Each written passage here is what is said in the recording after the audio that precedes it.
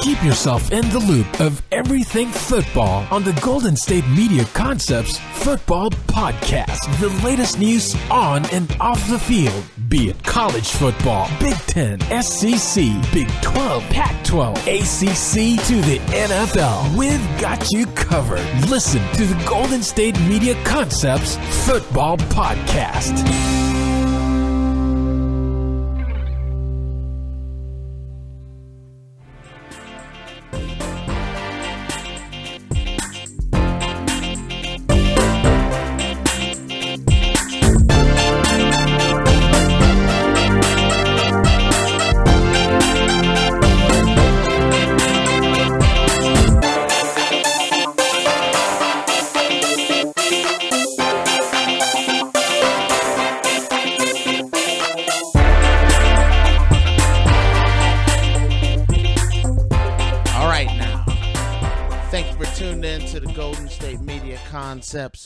Football Podcast. I'm your host today, Tate. And today we are going to be talking about one of my, actually, it's not one, it is my favorite football team who constantly, as I drop my head, uh, is in the news.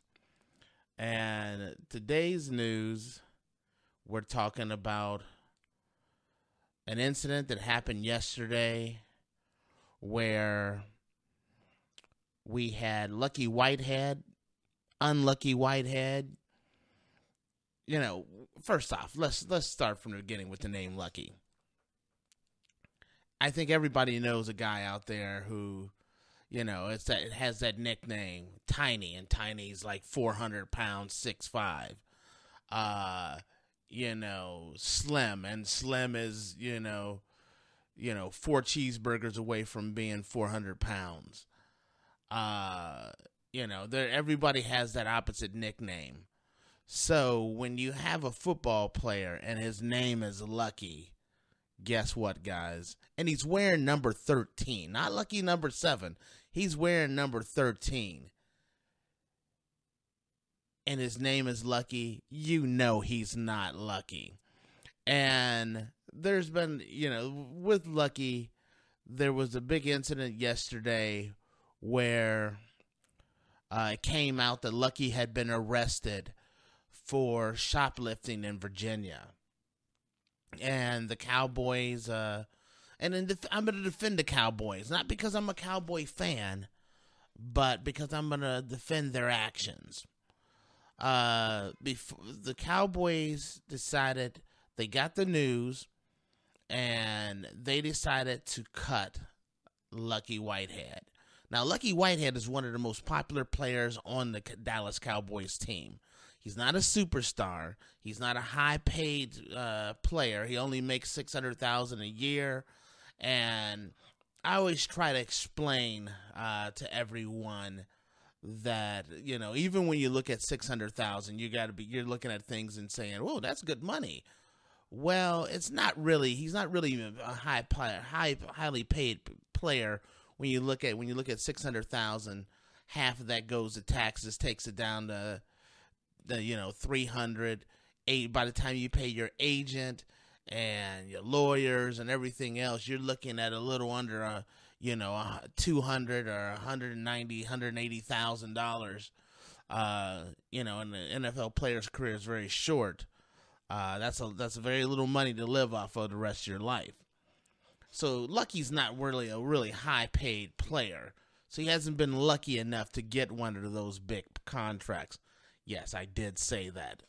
Okay, so Lucky, unfortunately, was uh, it came out that Lucky had been arrested for shoplifting spree uh, in Virginia, and the and the Dallas Cowboys uh, decided to cut the cut him, but after they made a few phone calls and did a little investigation, and uh, they talked to the police. Uh, the police confirmed that yes, Lucky had been you know, he had been arrested. They had uh, he knew he they had confirmed his birth date. They confirmed his social security number, uh, and and so and they had booked them for uh, arrest. Lucky on Lucky's side and Lucky's agent's side, they did something that you know it's like uh, no, it wasn't me. And you know the police are talking to Cowboys and media, and yes, Lucky got arrested. We've already confirmed the social security number, birth date, everything. It was Lucky. Cowboys take that information after talking to uh, talking to the police in Virginia. It's time to let Lucky go. Unfortunately for Mr. Lucky, today comes out, and after Lucky talks to the police, comes out that Lucky really didn't do it. Now, I'm gonna let me give you a little background, and I'm gonna, you know, here on Lucky. Lucky's had a kind of a checkered past, and and you know he had an he had an incident. First, being uh, you know, and I know a lot of people been up in arms about people being late to meetings and things like that.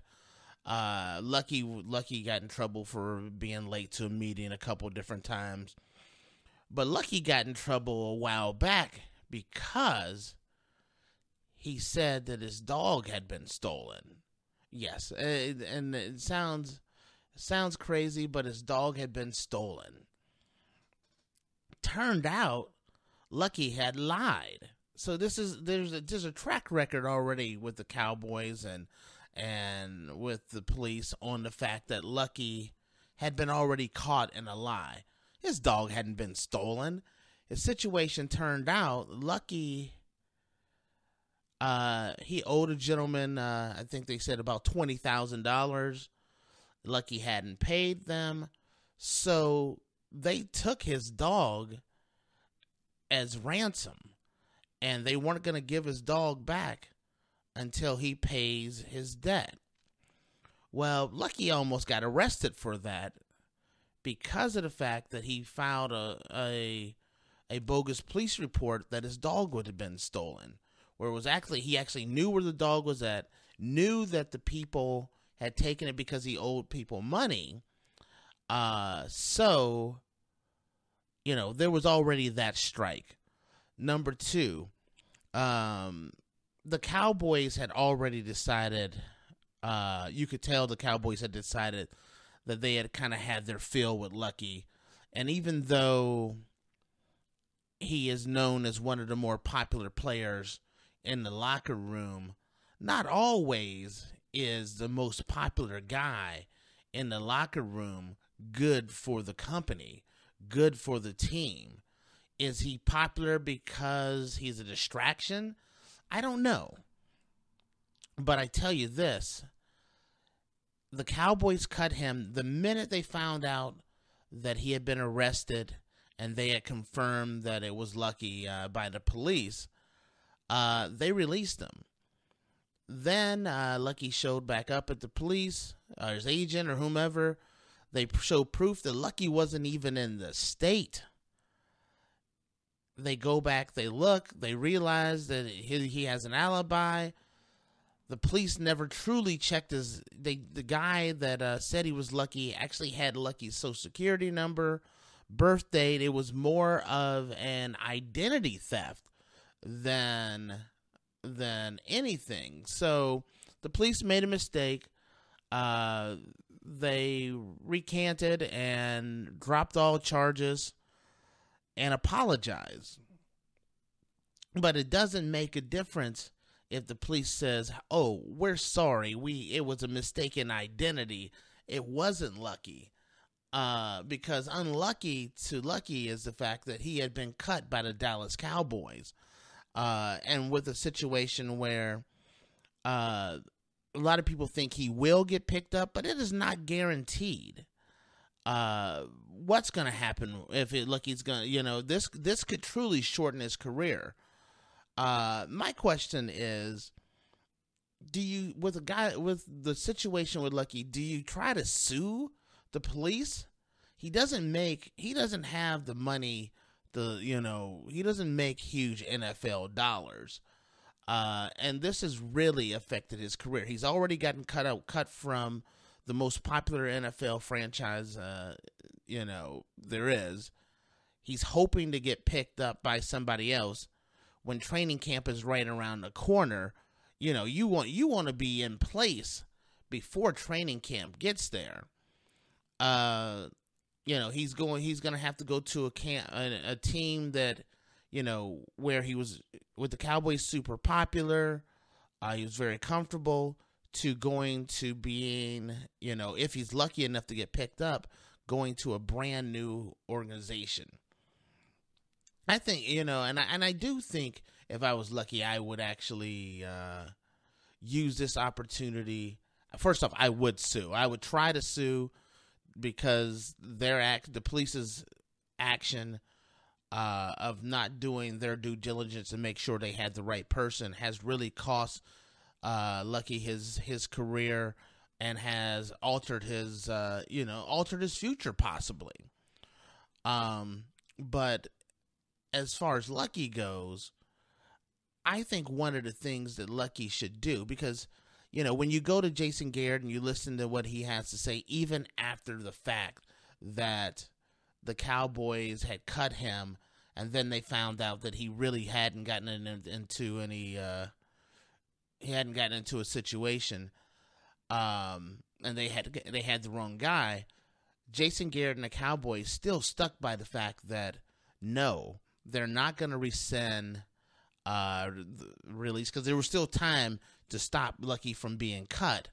Uh, the Cowboys did not rescind uh, their waiver.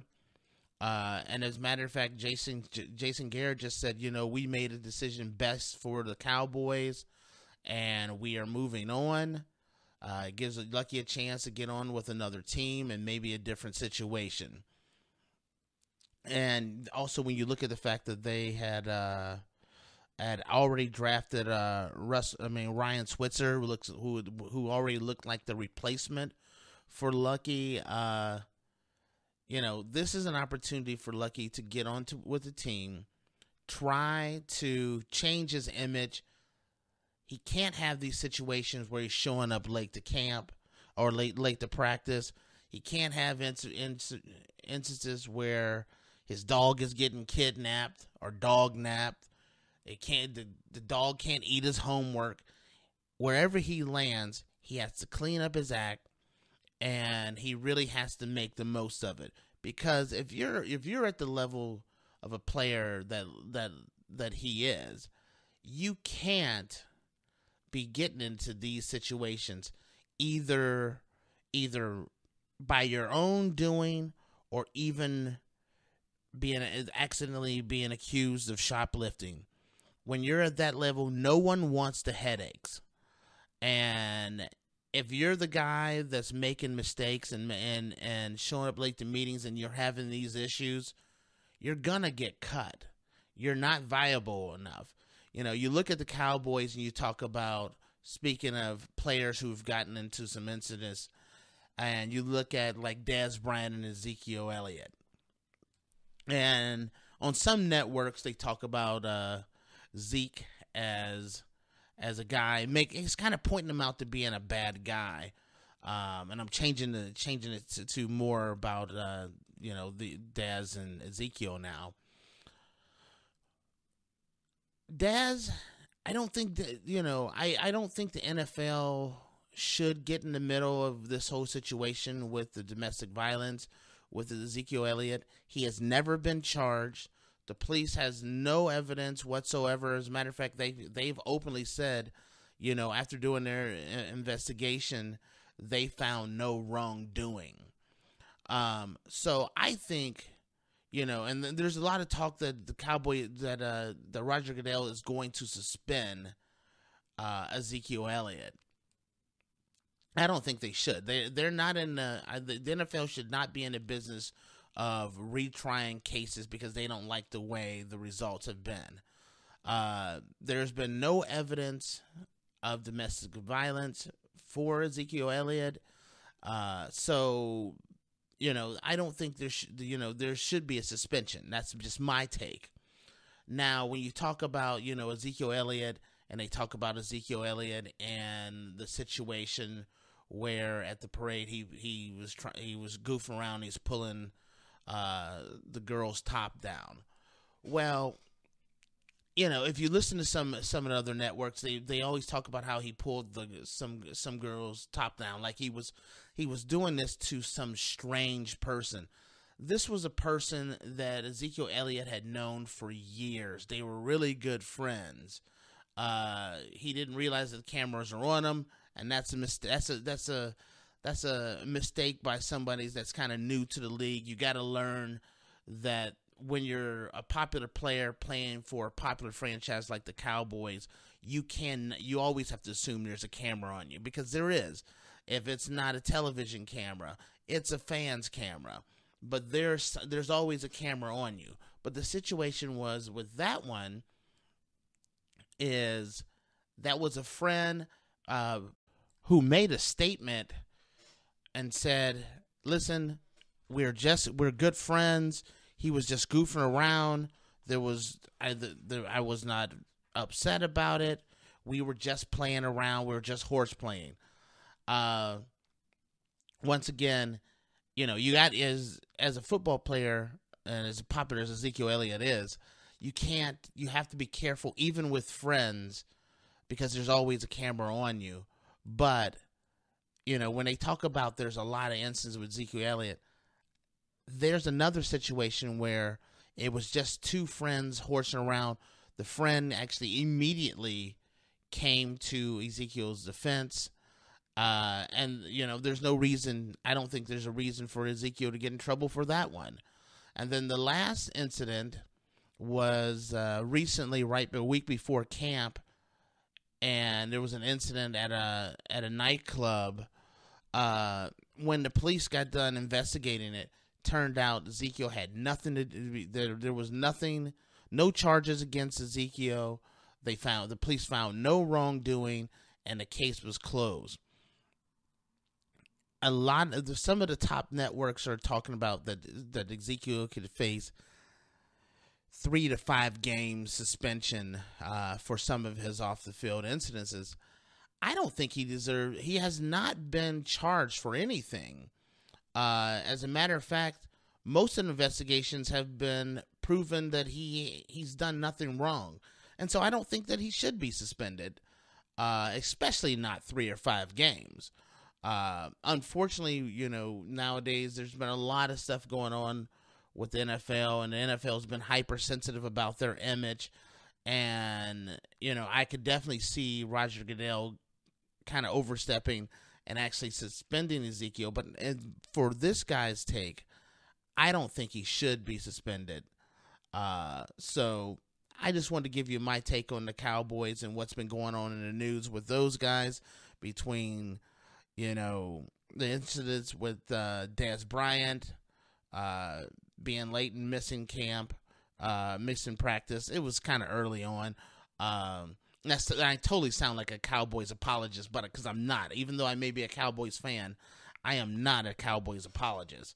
Uh, when when there's an when there's a reason to call the Cowboys out for things that or the players for what they have done or Jerry Jones, I'll be the first one to say, you know what? No, this is you know this is something that is not right, and and call them out on it. But this one, I feel like uh, August is kind of a slow time of year, and a lot of the popular networks like to put out show, you know, like to create news during that slow time of year. And and to give you a little background on myself, I used to work um, on one of the major sports networks radio stations, and so I know how they go to create uh, and and over you know inflate show uh, stories during slow media times.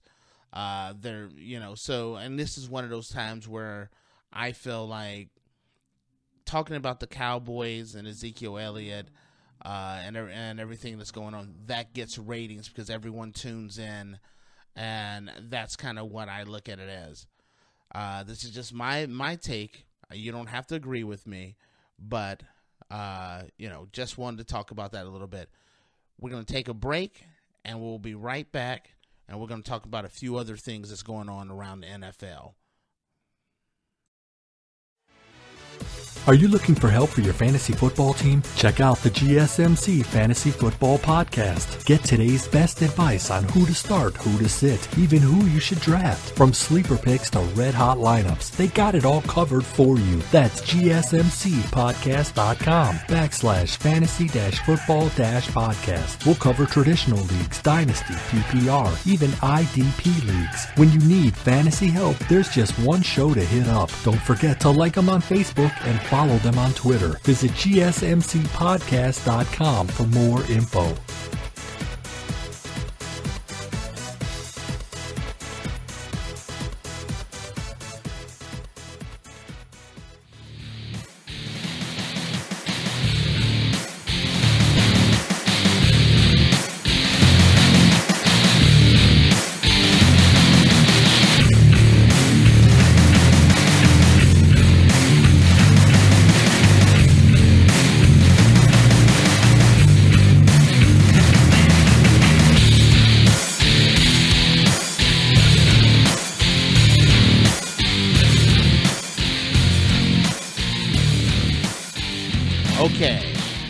So you're listening to the GSMC Football Podcast, and the next thing we're going to talk about here is Richard Sherman, and he, he's a guy who's been in the news quite a bit, and for uh, two things, and we're going to talk about uh, both of these convers both of these to- topics. The first thing that Richard Sherman's in the news for is they were talking about in an interview that he doesn't have the the greatest relationship with his quarterback Russell Wilson and how you know they're not the best best of friends and how you know that them not being on the same page or or hanging out is kind of you know, it's a splint, it's splintering the locker room, or it's causing Seattle not to win.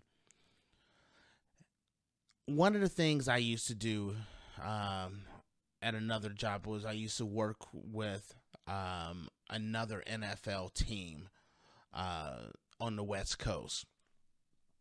And one of the things I will tell you is this is when you're looking at an NFL team there's there's a ton of players, there's a ton of coaches, trainers, and not everybody gets along. Not everybody is the best friends. They're not all after practice, you know, all 50 something players aren't getting together and, you know, going over to uh, each other's houses and hanging out. Some players on there, you're, they're your best friends. And some players you just can't stand. It doesn't mean, and that happens with every team. It's not just the Seahawks, it's not just the Cowboys, but yes, even the Patriots. They have play. There's players that I bet you. I mean, if you polled everybody, you'd realize that not everybody on the Patriots like Tom Brady. Uh, you know, but as long as they're able to work together. And I'm not breaking any news saying the players don't like Tom Brady. I don't mean it that way. I'm just talking about just in in, in general. And when you look at the Seahawks, the Seahawks, uh, it's one of those things where Pete Carroll's given their players the ability to to express themselves and be able to talk about any topic they want. Uh, and he I think he likes that because he's a he's a player's coach, and so he gives players the leeway and the freedom. But this is a non-issue. Uh, number one, they're not on. You know, they're not even on the same side of the ball. Uh, at no point in time will Russell Wilson ever have to throw the ball to Richard Sherman, except for in practice. Uh, and there's there's talk that Richard, this this the the rift between Richard Sherman and Russell Wilson comes from the Super Bowl where he threw the interception at the end of the game, uh, and it cost him a Super Bowl. And their relationship has never recovered from that. Uh, you have some people that hold grudges and and and they show their emotion on their sleeve. Uh, and then you have guys like Russell Wilson who you know just let things go, and they're they're very more corporate, more button up, or more let let things slide. Um, it doesn't matter if they hate each other. It doesn't matter if they're best friends. Even if they were absolute best friends, it has no relevance on the team because of the fact that they one's on offense, one's on defense. Uh, you know, I think about like uh, Buddy Ryan uh, hating uh, for one. I think it was the was it the Oilers where he I can't I think it was the Oilers. I can't remember I can't remember what team it was, but uh, he was with. But he did not like the offensive coordinator. Uh, that may I can't remember what team it was, and I don't want to put my foot in my mouth even further. But you know, it was known that he didn't like the offensive coordinators. Uh, but it didn't matter that he didn't get along with the offensive coordinator because they operated on the opposite sides of the ball. You know, it didn't affect his day and his preparation, uh, and and it didn't affect and and on the defensive side, and it didn't affect the offensive coordinators. Uh, uh, you know, preparation on the on the offensive side. Some, I mean, when you're dealing with a lot of personalities, that's just something that kind of comes up. Now, I want to talk about something else that Richard Sherman talked about that was kind of in the news. And uh, this this kind of this is kind of old news, but I, I it's something I really wanted to bring up and talk about. And that is Richard Sherman was talking about how uh, in the NFL, you know, they have this rough, violent game that they play with these short careers and they're getting paid less than the two other two major sports and that's the NBA and Major League Baseball. And he's right. And he's saying that the only way that they're going to be able to get those kind of salaries is they're going to have to strike. He's right again on that one. But the biggest problem I've said, and I've said this for years, and that is your problem isn't with the NFL. Your problem is with your union. You have the weakest union of all the majors of all major sports. Uh, I feel like the union has an alternative agenda that doesn't that's not always in the player's best interest. It's more in that bottom line best interest. And sometimes the job of the union is to protect the players from themselves. And I don't feel like the NFL does the NFL's players union does that. I feel like the NFL players union their number one goal is to concentrate on what's best on the bottom line because a couple things that would have happened years ago is with a violent league the way it is and with careers being so short the matter of fact like this last strike it shouldn't it shouldn't you know instead of fighting about or this future strike about Roger Goodell and what kind of power he has your your number one goal should be pension plans and guaranteed contracts. It's crazy that a player can be signed for five years and only two of those years are worth anything, or a player signs seven years and only two or three of those years are, are guaranteed, and the other the rest of it is just not worth the paper that is printed on. You know, the union has to, you know, union has to stand up and say guaranteed contracts that's what we're here for. That's their number one priority. Uh, and i think the players would be better off uh, because the nfl's not going to give them guaranteed contracts. They're going to ask for a lot more back. Um, i think if you're gonna if you're gonna fight for a guaranteed contract they're going to have to give up a lot. And I, you know, and one of the things that has always happened and why the NFL, uh, you know, the players always cave is there's a small group of people at the top who has plenty of money, but then there's a there's another group down in the bottom that one they don't get paid a lot, and number two there's a lot of knuckleheads in the NFL who actually blow through their money and don't have and haven't saved for this type of situation. That's what has broken the union, and that's the reason why when Richard Sherman is upset about the large contracts that go for the NBA and Major League Baseball, why NFL players don't get those is if you're going to when you go into to negotiation with the NFL, your players have to be prepared to say what's the most important, what's the, what's the mountain that we're gonna die on, what's the hill that we're gonna fight for, and right now, you know, if the if the the next negotiation comes up, the hill that they're going to fight for, it won't be guaranteed contracts. It's going to be Roger Goodell's power. That's what they're going to keep they're going to go for.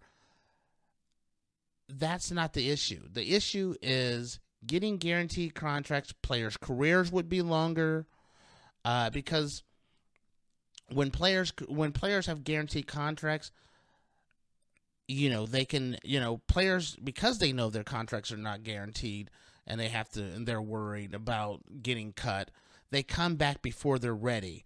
Players are going to be able to have the ability to heal up and know that they have the peace of mind that their contracts are guaranteed and therefore their careers will be longer their performance will be better. That's my take. Uh, and richard sherman is right. The only way to get a to get guaranteed contracts and get the contracts that some of the major league baseball and basketball players are having is to strike. Uh, I just don't think that you have the right union to support you and, and have the the wherewithal to say, no matter what, this is our number one goal.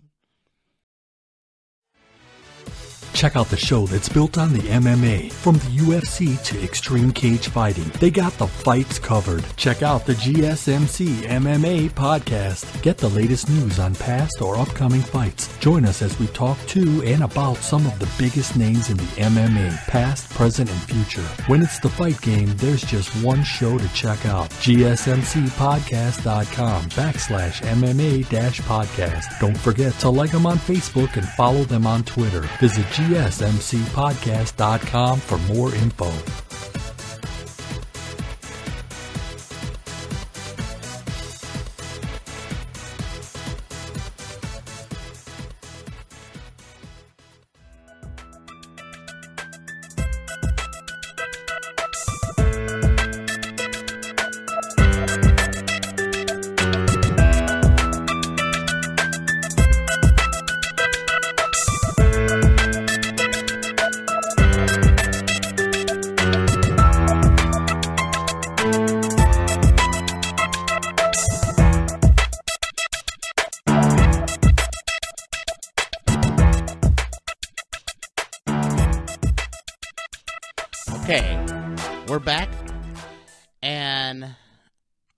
RG3 is actually to get a chance to work out today for the the Los Angeles Chargers. I still have a hard time calling them the Los Angeles Chargers.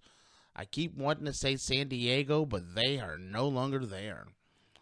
And so he gets a chance to work out for the Chargers. Uh, he's determined to get back in the league. Uh, he feels like he hasn't really, uh, that he still has more to give and the Chargers are looking at him as possibly a running option, uh, like a running quarterback type option, and backup as more of a weapon for them. Uh, and it's a kind of it's a good it's a good opportunity for him to possibly make a team. I still think he still has a shot to you know get on with the team.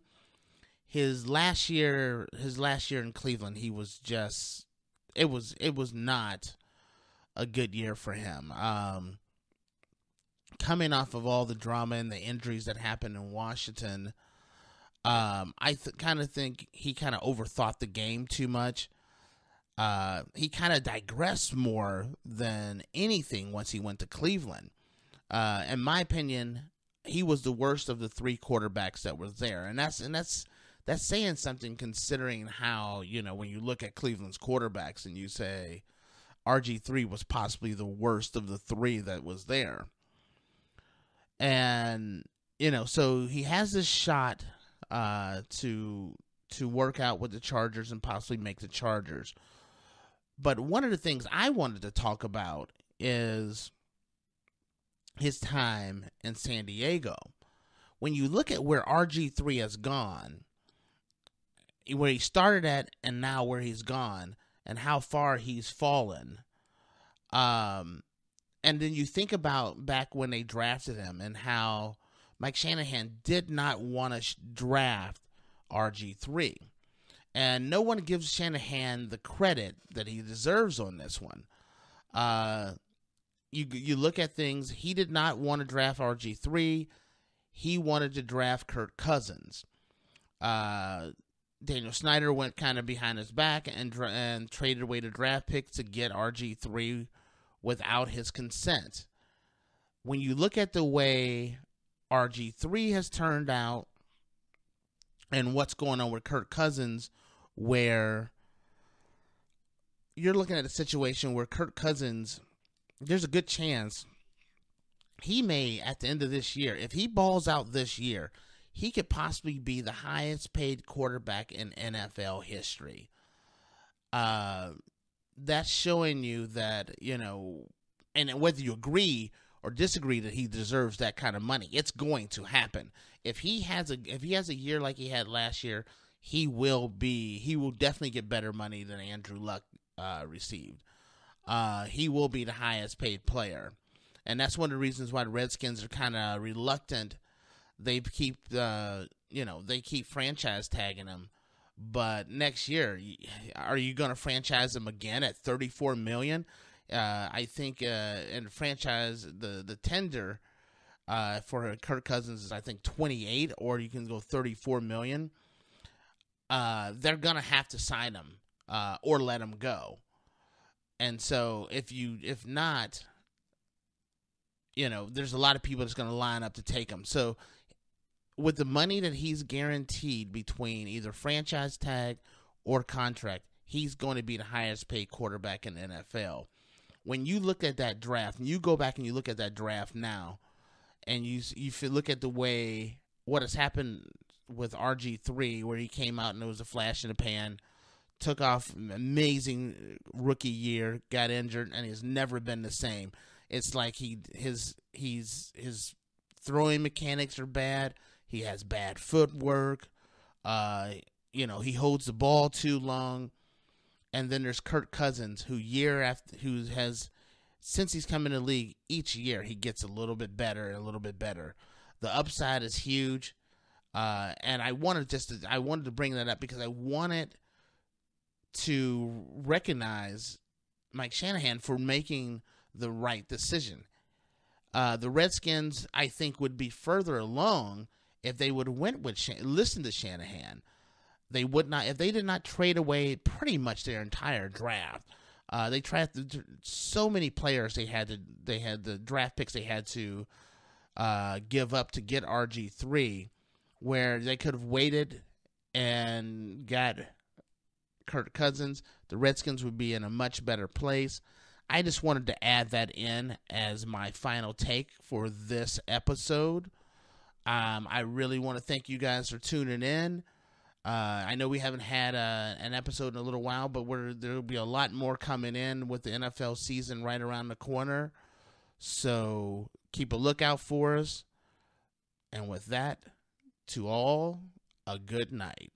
You've been listening to the Golden State Media Concepts Football Podcast, part of the Golden State Media Concepts Podcast Network. You can find this show and others like it at www.gsmc.com. gsmcpodcast.com. Download our podcast on iTunes, Stitcher, SoundCloud, and Google Play. Just type in GSMC to find all the shows from the Golden State Media Concepts Podcast Network. From movies to music, from sports to entertainment, and even weird news. You can also follow us on Twitter and on Facebook.